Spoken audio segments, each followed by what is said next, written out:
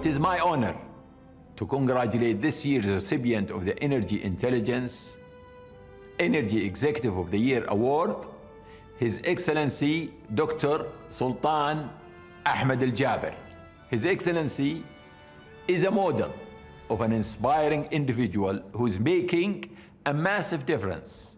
Indeed, His Excellency has launched an ambitious reform agenda, transforming ADNOC into one of the world's most respected energy companies.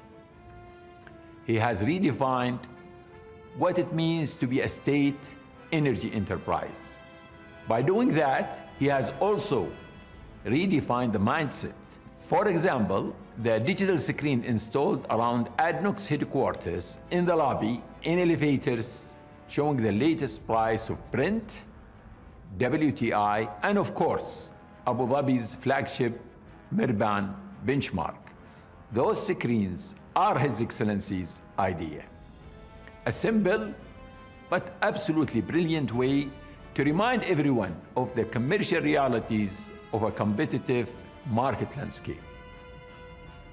Since being appointed Group CEO in 2016, His Excellency has accomplished in a few short years what most CEOs hope to do over their entire careers.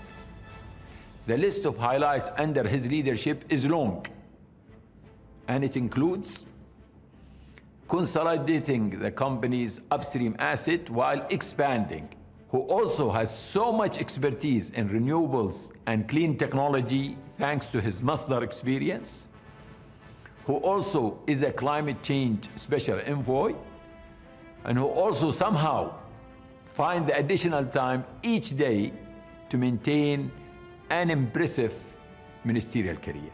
That said, I know that for His Excellency, it will never be about receiving an award. Rather, it will always be about moving forward. He is a man who's passionate about creating value, a leader who's action oriented, strong in execution, someone who's very determined to deliver.